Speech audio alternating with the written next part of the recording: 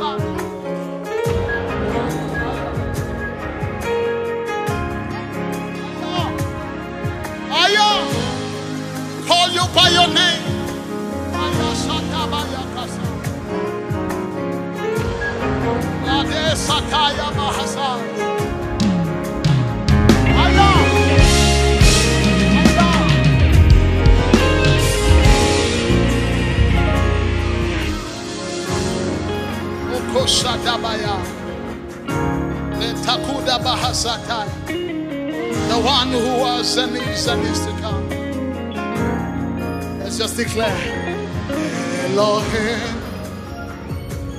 Adonai Masataya. The one who was and is and is to say Elohim. Hey. Can you just call him by his name tonight?